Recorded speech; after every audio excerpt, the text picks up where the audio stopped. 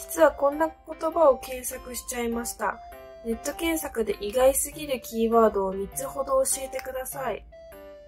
あの、意外、意外すぎるキーワードを3つほど？あの、本当にバカではないと思っていたんですけど、ふと、あの、スーパーで見かけた醤油って漢字が読めなかった時があって、それめっちゃ検索しましたね、なんか。将棋の将にした酒の左のやつみたいな。あの時はちょっと自分やばいなって思いましたね。あとは、ゆで卵の作り方。うまく作りたくて、半熟を、うん、検索しました。あとは、虹はどうしてできるのか なんか、めいっ子に虹の出来方教えてほしいって言われて、説明できなかったんですよ。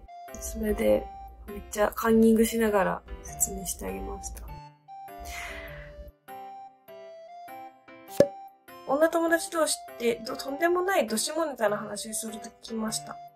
具体的にどんなお話？なんか、下ネタっていうよりかは、みんなの経験談を話し合うみたいな、報告会っていうのが多くて、大体それで、あの、男の人のさ、エッチの仕方が悪かったらそこでみんな悪口言われてます。絶対に。ぱ結局、そのエッチするのって報告までが楽しいので、うん。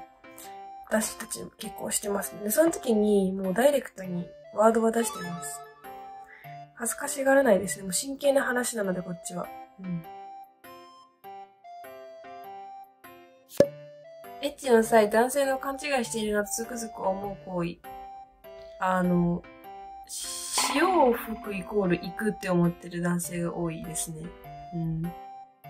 あの全くもってそういうことではなくて、それとこれとは別問題なので、なんか、潮吹いてないのに行ったっていう女性を見て、なんか演技とかって聞くのは本当やめてほしいなって思いますね。そういうわけではないので。はい。なので、潮吹くイコール行くではないっていうことをね、その、男性の方も覚えていただければ、男性の方も、まあ、エッチが入れやすくなるんじゃないかなって思います。はい。